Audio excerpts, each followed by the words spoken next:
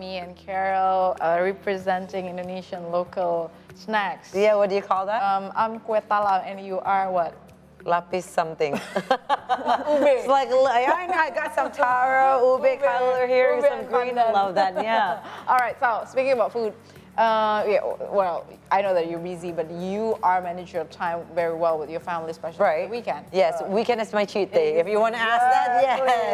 Weekend is my cheat day, So Do you have any plans for weekend? Do you have any? Like, Yeah, I think I really want to. I mean, we're been, Ramadan. Exactly. I'm thinking what I want to get, especially if we're talking about Ramadan, is break fasting, right? Yes. So you want something that's sweet, something that's, you know, uh, whatever that you like, savory or sweet. But for me, my taste, I like my sweets for yeah, break fasting. me too. I love a sweet. I love I, basically I love food. Especially know. Before, Yes. Before Ramadan, I I don't know. I, I'm thinking about taking my family out. Mm-hmm. Uh, probably you know to eat some in a, one of a, oh, eating it at a restaurant to Okay. get a sweet as well. Okay, all Ha. right. So all right. What are you thinking of? Um, I'm thinking Cakes, I'm donuts, going or- anything. Okay. Cake, donuts, pastry. Oh my God. Okay. Um, why don't we just go to Jakarta Dessert, uh, Dessert Week? Exactly, why Yes. not? So, um, what kind of dessert uh, they have? Cakes, chocolates, everything that probably we can find there. And to find the answer straight from Jakarta Dessert Week co-founder and uh, also Boo uh, Bakery CEO, we have Talita Setyadi in our studio. Welcome, Talita. Thank you so much for coming. having me. I'm a big fans of your chakwe sourdough. Oh, You have to try it? I have. I cannot yet, but I Oh, will. yeah, I yes. forgot. You Where did you get try the chakwe? Tubo, you go to Bo Oh, and you okay. order the chakwe No, sourdough, I always- garlic parmesan. Yeah, you know, I always go to, I always go there for the sourdough bread, by the way. Oh my Usually after our, you know, done here, Dipping with the we sauce. go there. Oh my God. Okay. She's very ecstatic to see you, by the way. All right, Yes. before we go uh, to the chakwe and sourdough things, such a let's talk lady. about Jakarta Dessert Week. What is so special about that? So Jakarta Dessert Week is an initiative that me and my co-founder started back in 2019, just like right in time before the pandemic, actually. And it was just in time for what happened in the pandemic because we had a platform now to co-market, collaborate, mm-hmm. and also help each other to pivot, whether it be digitization, going online, and also how to like, you know, market our products and create innovative products Right. while during the pandemic. Yeah. Oh, wow. So um, during the pandemic, you were still ongoing with Jakarta Dessert Week. Exactly. Really? This year, 2023, will be our fifth year. Yeah. Ah, nice. Oh, how did you manage during the pandemic? So we had a lot of support actually. So during the pandemic, um, we got some support from Tokopedia. So we were able to partner with them. online. Actually, prior to the pandemic, not a lot of pastry shops Yeah. had a Tokopedia store Right. or had an online kind of presence, right? So it, that's why we were saying, oh, it was just the right time that we launched this before the pandemic. Oh, Yeah, because people would not think about food, I think, and that, you know, uh, marketplace. But then now, because of you, now you become, you know, you will kind of help also uh, all these pastry places and whatnot. Uh, we're going to talk about Jakarta Dessert Week. This year is, what is it called? So this year we came up with a different concept Yeah. because last year, at the end of last year, we collaborated with Bright Spot Market as well. Yes. We had a pop-up at Bright That's Spot. right. Yeah. Usually it's with Barcelona That's Market. Yeah, definitely. Alright. So we had a pop-up there, and we mm. worked together with the um, founders of Bright Spot. And then we saw that there was so much enthusiasm mm-hmm. that we couldn't wait one whole year Right. until Jakarta Dessert Week happens again, Yeah. right? Yes. Usually in quarter 4 mm-hmm. So then we collaborated again with Ashta, District mm-hmm. 8, so that um, we could still showcase a lot of these wonderful talents before our main event in October. So it's called Dessert Market, and Right. our pop-up is at level two by Flix. All right. And the theme this year is Dessert Market. This is yeah, just one of the satellite Just one of the events. satellite Yeah. Oh, so There basically the big event will be held in November this year. So the big event doesn't have a physical location, but it's oh. okay. kind of like a restaurant week oh, concept. So we go Oh, like a restaurant, hopping. hopping. Oh, that's nice. Exactly. How's the program though? Usually, let's say, let's say if you go to a restaurant, would mm-hmm. there be a special menu of Jakarta Dessert Week that you can mm-hmm. choose? Mm-hmm. Exactly. So the whole idea behind Jakarta Dessert Week is we encourage collaboration, cross-marketing, Mm-hmm. and also innovation and creativity. Therefore, we come up with a theme every year to Right. help to um, the pastry chefs, the participating shops, to really think about and reflect on different themes that they create the desserts on. Right. Um, so last year, you know, we, we've had several themes in the past, like retro, magic. So this year is a secret theme that I'm not allowed to You're not gonna spill yet. the tea today. Not yet, but there will be another theme that everyone can like start to think about how to interpret. Right. in Okay, their own so way. uh, it- this must be a very uh, interesting for everyone, especially for the uh, people in the industry, in the Oh, yeah. industry, Very and uh, it's like a stimulating them to be more Exactly. creative Ah, because that's the you one. know we, Yeah. Yes. people love food, yeah. especially here in Jakarta. There's Especially a in the capital lot, city, lot of right? restaurant, Yes. and every everything. Yes. If one uh, restaurant have something special, everybody will coming Yeah. just to try it, post it on social media. So basically, people are more creative to do something uh, better and better. So how do you uh, like? How do you work on uh, with those uh, producer or the vendors? Did you like uh, curating, or is there any standards that you are put it to Yes. join? The, Yeah, first event. of all, um, we wanted to highlight not only the vendors, but also the upstream to downstream. Okay. Maksudnya, who's the agriculturist? Alright. Like, where did the products come from? Who is the suppliers? Who's the distributors? Who are the Mm. brands of these ingredients? Who are the chefs who are making Oh, this? And where are their retail sales points? juga? We want to highlight all the way down the Okay. Yeah, yeah, yeah. That's why it's really important that you know we have this every year to like get some more excitement into. It's for the full ecosystem, I think, right? It's all around oh, ecosystem Exactly. right there. No, I mean, we were talking about, you know, you were talking about the industry, FNBs and whatnot. We're going to talk about now the people that's going to oh, enjoy these delicacies, yes. right? How are the public's response, especially to Jakarta Dessert Week, when you started in 2019 until now? So the public's response has been really, really amazing because I did have a lot of questions on like Tao and you know to my co-founders like why do you only highlight pastry? Why do you only highlight mm-hmm. desserts? And then I asked them, okay, name me three pastry chefs. And they would struggle. Mm-hmm. Yeah. But when I asked them to name you know, three, even 10 culinary chefs, very Right. easy. You know, Right. we see all these people Yes. everywhere. So then, yeah, that, that's why it's, you know, we thought it's, it's really, really cool to start to do this. And then also the public start to see that, hey, pastry is a viable career option. It's such a cool thing to Yeah. study. And so then we not only generate a lot of excitement on the business side, but also on the education side and the mm. restaurant hopping side and the in the entertainment side. Like you mentioned that you love to eat for entertainment, right? And like searching new places and things. So then by doing all this, actually, we're just generating more excitement, more hype, and showcasing all the talents behind it, which is so important these days. Yes, yes. So, and uh, Talita, how do you see Indonesian uh, chef uh, pastry Yeah. in the in the big industry in the world, especially? You know, we have a lot of uh, Indonesian snacks. Mm. Yes, It's yes, yes, Very yes. popular, and our government Right. want to, you know, Yes. escalate it to be, you know, showing off in uh, inter- international Mm-hmm. world. How do you see it? Yeah, so the cool thing about desserts and the cool thing about pastry, it's a type of creative art, right? Right. And when the producers create something, they tap into their experiences, their cultural background, what they ate when they were younger, Yes. what their mom cooked. So then it's really important that we highlight Indonesian pastry chefs if you want to highlight more of our culture, more of our heritage. So that, that's, that's why in the big grand scheme of things, how come we don't know like a globalized like Indonesian pastry chef showing off a lot of our ingredients Mm-hmm. and flavors? So mm-hmm. it's, it's really, really exciting. And that's why we get support from um, Kemenparekraf, you uh-huh. know, and also the DKI government so that we can put on these events every year. And they also encourage us to, hey, why not do it in Bandung? Why not do it in Bali? Why not do it in Medan? Actually, we, we will do it in Medan this year. Wow. Yeah, and also like, hey, can you put more, you know, local ingredients, work with more farmers, and that's Yeah. all of these things. We never realized how big this could be Yeah. and how much impact it could have. Yeah. You know, Talita, I've, I've actually tasted one cake right here. Um, the store is right here in the South Jakarta. So it's a cake. It's Yeah. a very fluffy cake, but it tastes like es campur.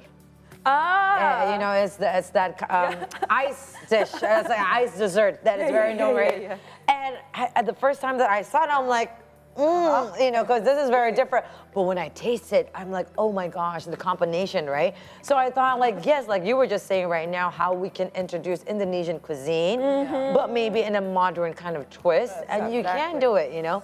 And it seems that now that you really want to kind of boost the industry, especially the micro small businesses in pastries.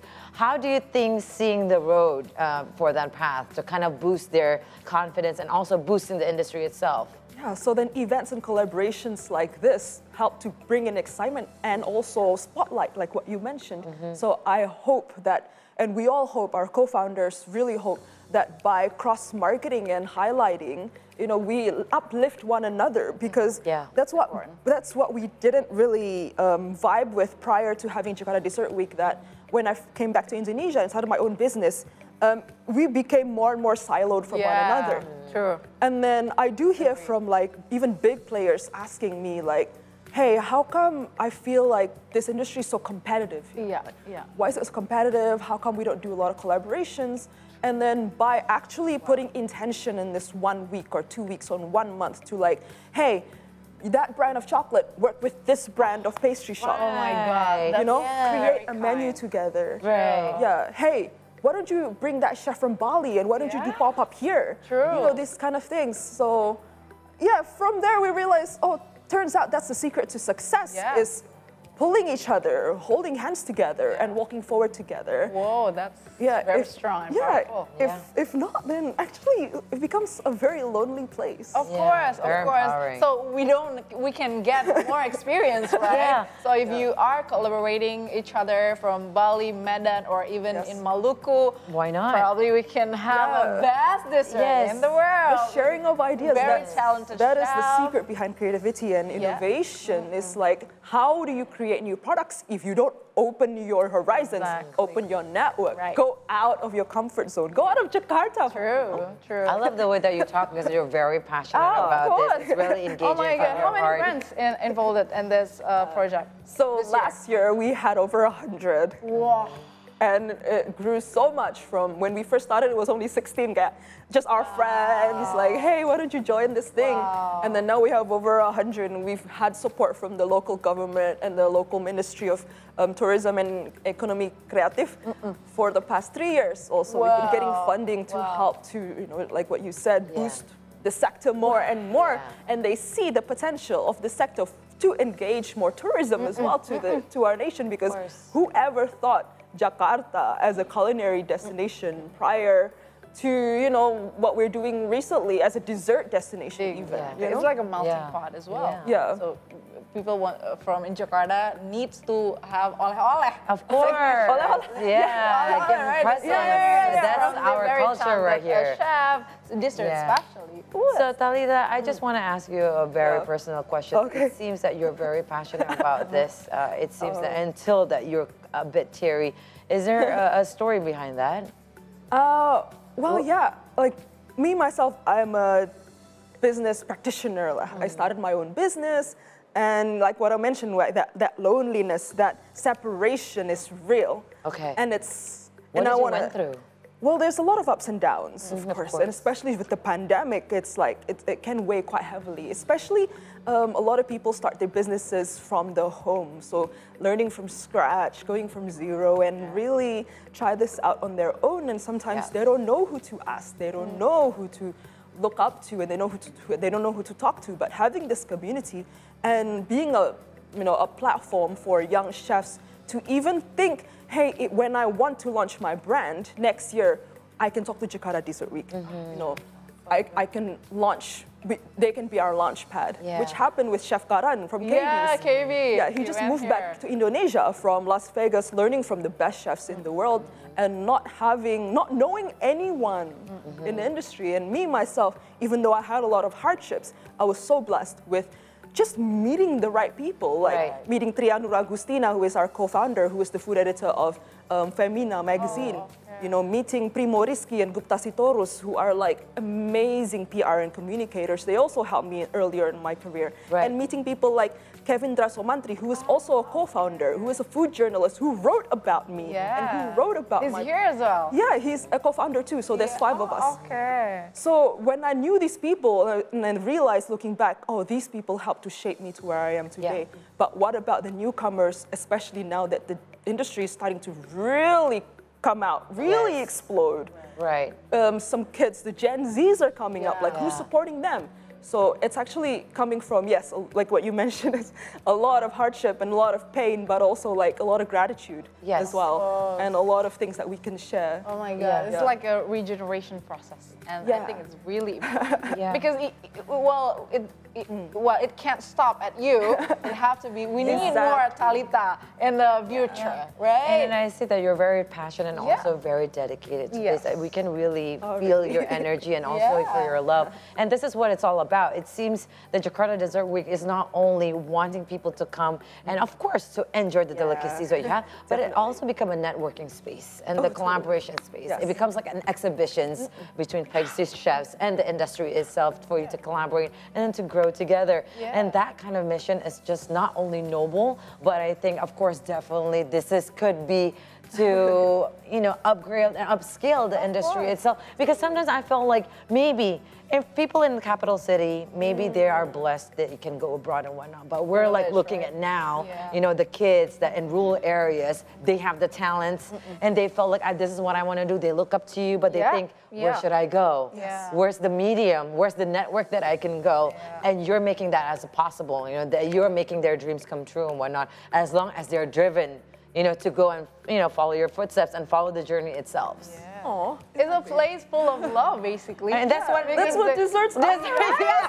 Desserts always make you happy, people. I'm you. the love is coming from stomach, not always from the eyes, right? Talita, thank you so much for sharing with Thank you us so with your no your your desserts. Can you share with us what you have? So this is here? a sneak preview Yes. to our dessert market pop-up at Ashta, which we don't Patient. have that much more time because it's only around until the 26th of March. Okay, all right. And this is just a selection, just a taster for what's to come over Okay. there. Yeah, so we have Enchanté Bakery by Chef Jonathan Weedy, whose shop is at Ashta as well. His specialty is eclairs. Oh, yes. Right. Yeah. Enchanté. Enchanté. And also, this is one of the most popular brands, especially um, at Bright Spot, is Bodas Dessert Bar. All the way from Bandung, ah. bakes everything in Bandung, sends everything to Jakarta, fresh every morning, and this is their bestseller, with it, which is their cashew nougat mocha. I know. cake. I was eyeing that. that, one. tried you did that one? Yes. Oh my gosh. that. Okay. Amazing so yummy. So and yummy. then, of course, this is Fruto Sando, which is so cute. They have a little store in Cengkareng, and they're super popular, and you know, it's uh, so delicious and looks super cute. It's like cream and fruit and, and, and delicious fluffy white bread. Yes. Yeah, and then also we have Monokuro, which is another pas- pastry shop um, in Gading Serpong, whose specialty is entremets. All So right. you know, this is just a sneak. This is four out of a hundred. Oh my, Oh my gosh. All right. that we had last. It's like 0.001%, you guys, is right 4%. here. Can you imagine? imagine they made it from scratch with Yeah. love, creativity, and lots of dedication. Yes, So basically, indeed. this all uh, delicacies needs a support. Yes. Yes, a yes, support yes, from yes. Uh, food lovers, from us Indonesians, to bring uh, our Indonesian dessert to you know to Grow and elevate, bloom. growing um, bloom. Yes. to be known internationally because we have a worldwide talent. Yes, and this is dessert made by love. So, Talita, uh, maybe our last question for Yeah. our day. I wish that we have more time with you. I would love engaging with you. But to know more about Jakarta Dessert Week and the upcoming events, Yes. especially the main event, where can we go? Yeah, you can find us on Instagram at Jakarta Dessert Week. And you can even find me too at Talita Setyadi Yes. and any of our partners, Tirandura Agustina, um, Kevindra Soemantri, who is a food writer, Yeah. Primo, and Gupta, who are PR, you know, specialists, and they will, you know, we basically update all the time All right. on our All right. platforms. Thank you so much, Talita. Thank you so much for coming. Oh, thanks again for having me. For Thank you for amazing you and your co-founders. Yes. Yeah. And you're making, you know, dreams come true right now, Yeah. Especially for love. Indonesian chef. Yeah, Eat, pray, love.